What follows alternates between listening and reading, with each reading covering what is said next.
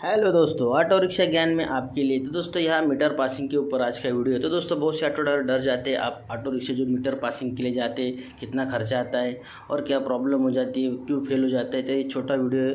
तो जल्दी जल्दी दोस्तों में शेयर करना और कमेंट करना और दोस्तों में कुछ चीज़ें उसको फॉलो भी करना। है दोस्तों सबसे पहले आपके मीटर होता है अभी टू स्ट्रोक हो या फोर स्ट्रोक कोई भी गाड़ी हो, पर दोस्तों, इसमें अलग अलग कंपनियाँ होती है। तो उसमें दिखने में ज़रूर अलग अलग होता है, पर चलने का जो मीटर रेट होता है, या किलोमीटर वो सेम ही होता है, पर खाली उसे दिखने में जो सेंसुई कंपनी का है तो आपके सुपर हो कॉनेक्स हो सक्सेस हो, या फिर सुपर वो, ऐसे बहुत पाँच छः कंपनी है। अभी ऑटो रिक्शा में क्या होता है दोस्तों प्राइवेट गाड़ी को तो नहीं है, पर कमर्शियल ऑटो होता है।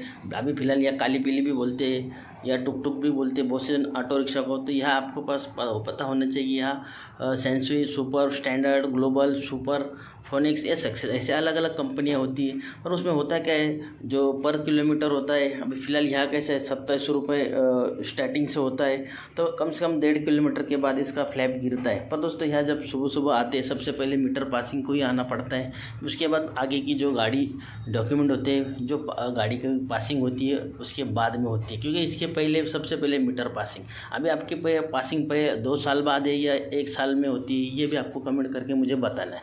तो फ़िलहाल मेरे गाड़ी को दस साल हो चुके हैं और मैं अभी लगातार ये बहुत पहले से ही गाड़ी पासिंग करते मैं खुद कर रहा हूँ, फ़िलहाल कोई एजेंट नहीं है। और दोस्तों, आप चाहो तो कुछ प्रॉब्लम हो आपका तो कोई ड्राइवर भी ले सकते हैं, उसके लिए खाकी वर्दी होना ज़रूरी है और उसके बाद लाइसेंस बैच मिलना भी तो फ़िलहाल होता क्या दोस्तों कभी कभार आर नहीं पूछते हैं पर आपके पास होना चाहिए कभी कभार कुछ प्रॉब्लम हो जाए तो ये गलत बात है।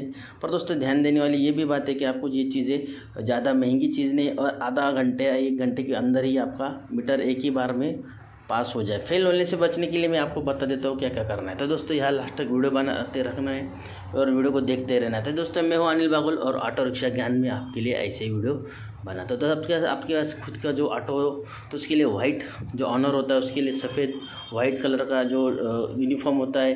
अगर आपके पास नहीं हो तो आप खाकी कलर का होता है ब्राउन वो भी पहन सकते तो सबसे पहले आप चलते हैं आर में। आर में आने से पहले आपको बता देता हूँ, यह आपके जब गाड़ी ऑन करते हैं आपके पास कोई भी ऑटो हो C N G L P G petrol, पर सबसे पहले जब ऑन होने के बाद आपको मीटर का जो नंबर होता है, यह डिस्प्ले पे आ जाता है। यही नंबर आपको जो आपकी पावती रिसीट होती है, उस पर होना चाहिए, जिससे आपका मीटर कोई गलत दूसरे दूसरे कोई ऑटो को तो नहीं आया है यह आपको पता होना चाहिए। तो यह आपका रेट होता है जो मीटर, किलोमीटर चलने का यह डिस्प्ले पे आता है।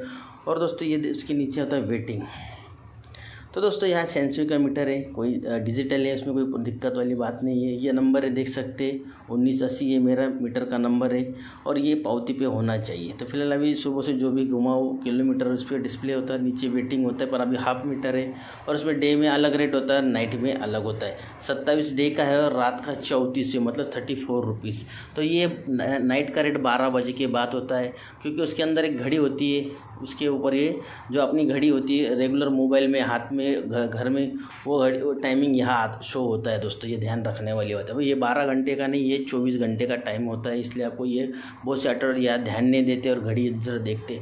आप एक बार अपने रिक्शा ऑन करने के बाद भी ये देख सकते फ़िलहाल ये गाड़ी का नंबर है और उसे चार सौ रुपये ही कैश दिए, क्योंकि उसमें कोई ज़्यादा प्रॉब्लम था ही नहीं। खाली एक बार टेस्ट किया, खोल के दिया, इसके ऊपर वीडियो बना चुका, उसकी लिंक आपको डिस्क्रिप्शन बॉक्स में मिल जाएँगी। उसके बाद इसके गेयर होते हैं मीटर गेयर जो इंजन के पास होते हैं अभी किसके फाइबर के होते हैं किसके मेटल के होते हैं उसमें ग्रीसिंग करना है, उसके ऊपर भी वीडियो बना चुका उसकी भी लिंक आपको डिस्क्रिप्शन बॉक्स में मिल जाएँगी।